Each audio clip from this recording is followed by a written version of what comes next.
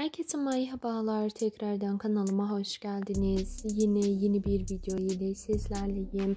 Arkadaşlar videomuza geçmezden önce eğer hala kanalıma abone değilseniz bana destek olarak kanalıma abone olup zil sesini açık bırakmayı unutmayın.